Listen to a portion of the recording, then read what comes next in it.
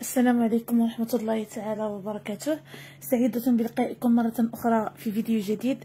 من خلال فيديو اليوم سنتطرق لحصة الظواهر اللغوية تحديدا مكون الإملاء. هذه الحصة تندرج ضمن الأسبوع الأول من الوحدة الخامسة مجال الماء والحياة. المرجع المفيد في اللغة العربية للمستوى الثالث. إذا نبدأ على بركة الله. عنوان درس اليوم. تنوين الأسماء المقصورة. تنوين الأسماء المقصورة. أقرأ. شرب الفتى ماء ملوثا فدخل المستشفى للعلاج. إذا شرب الفتى ماء ملوثا فدخل المستشفى للعلاج. إذا هذه أسماء مقصورة. غير منونة. بداية ما هو الاسم المقصور؟ الاسم المقصور هو الذي ينتهي بألف لازمة. بألف لازمة سواء كانت مقصورة أو ممدودة. مثلا مقصورة مثل الفتى ممدودة مثل رضا عصا. إذا شرب فتى ماء ملوثا فدخل مستشفى للعلاج. شرب فتى ماء ملوثا فدخل المستشفى للعلاج. إذا شرب فتى ماء ملوثا فدخل مستشفى للعلاج. إذا نفس الأسماء اللي في الجملة الأولى أصبحت منونة في الجملة الثانية.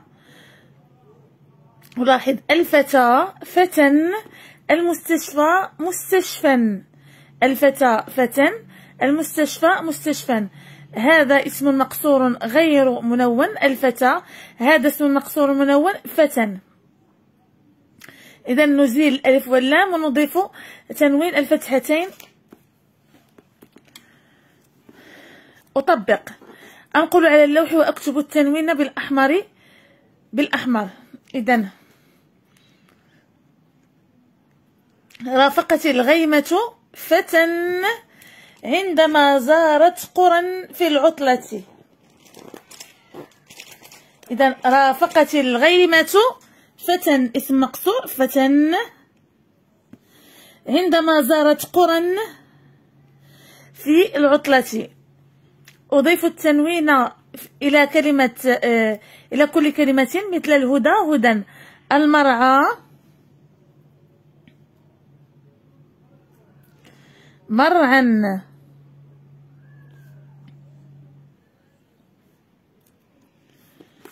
المرمى مرمن. المصطفى مصطفى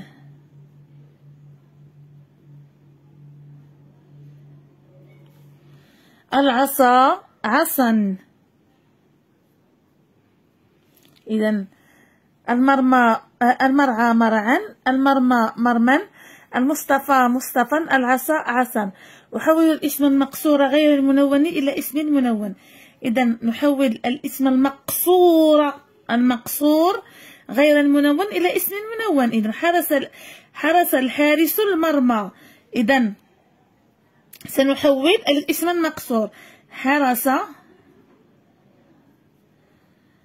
الحارس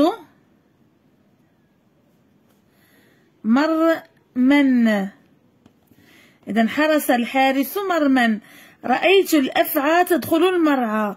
إذا سنحول الاسم المقصور لدينا هنا في هذه الجملة. اسمين مقصورين. إذا رأيت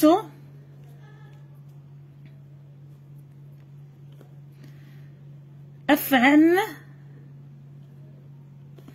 تدخل مرعا رأيت أفعا تدخل مرعا ينظف الكناس المجرى من الأزبال إذا الاسم مقصور والمجرى ينظف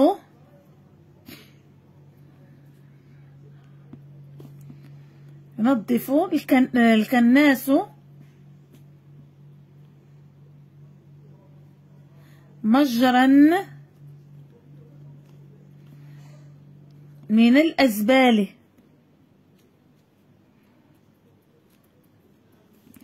إذا ينظف الكناس مجرا من الأزبال.